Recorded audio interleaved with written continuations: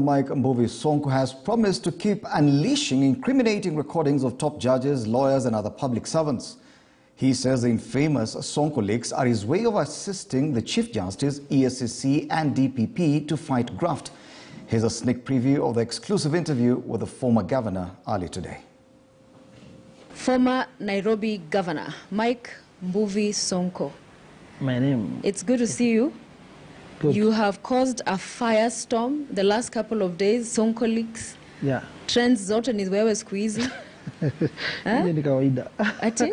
ni hali ya maisha, ni kawaida. I think top line because we just recently spoke to um, the judge uh, Chitembwe Said Oh. of the High Court, and he, in sitting down with us, said that you had unleashed those uh, clips on social media implicating him in, in bribery claims and allegations because of the decision uh, that was made in Governor Kananu, allowing her then to assume office as governor, dismissing your matter.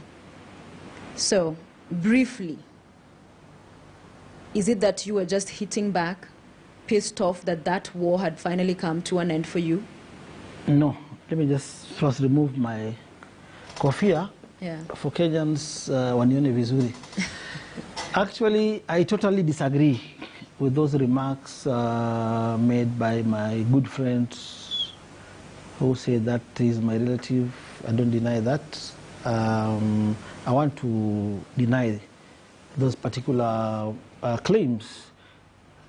Number one, uh, he said first those are edited clips, which is not true. And I want to give you a very good example, uh, Sophie.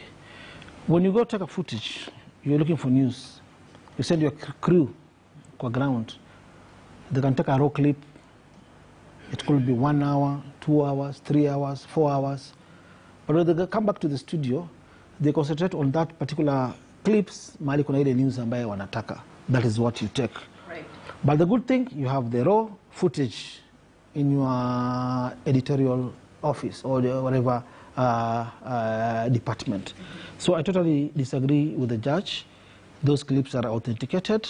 And I started dealing with the judge way back in 2016. And yes. You have told me I should not go to the details of some of these issues that are in court to be sub judice for me Yes. to discuss those issues. Yeah. But also, I need to be given a chance to defend myself on the allegations raised by the judge.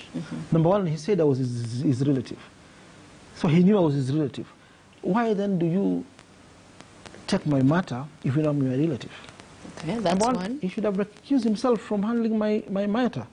We've dealt with so many cases in the judiciary. Once a judge has any relationship with you, whether it's your, not even a relative, a friend, anakujua, mnakunywa pamoja, he has to recuse himself. Okay. And I think that all judges, that is how they should uh, be- be- behave when they're handling a matter ya mtu ambaye ako na interest na, na yeye. So the judge is wrong. Number two, the judge said those clips were taken by Jimmy. Yeah. So, so he knew very well he was being recorded. He said he knew He's after the fact because he said he asked where your phone was and he said it was in the car. Then later, Yeah. from the way the clips looked, is when he said. He's lying. You know. So, uh, who was we, we had- recording? We had, we had a land transaction with the judge even before he took over my impeachment case. And I don't want us to go to the Uh, land yeah, transaction. but you see, I have to defend myself. I'll not go into the details. I'll not mention names. But allow just, I just want Kenyans to just know what has been transpiring. The outcome of my judgment was influenced by a certain cartel of people who didn't want me back to the, to the office. And that is not how judges operate. Yeah?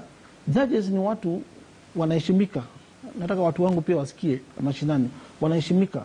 You don't discuss the merits of a case with third parties.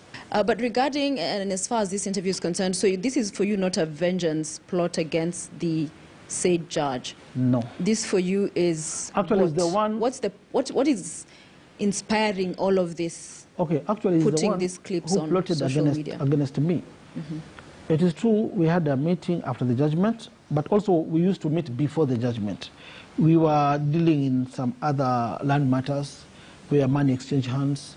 Yeah, he had uh, uh, presided over a land matter in Malindi in 2016.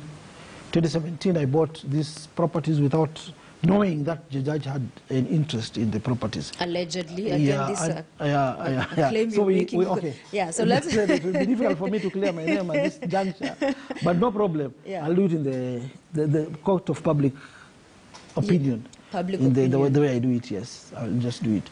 So- Because I've not filed any case in the JSC, even Mm-hmm. though we respect the Chief Justice, we respect the judiciary and the JSC. But the moment I file my case, I'll, I'll not have a chance of explaining the details of any case that is before the JSC or any court that is involving myself. Remember, we will air the full interview with Sonko later on in this bulletin.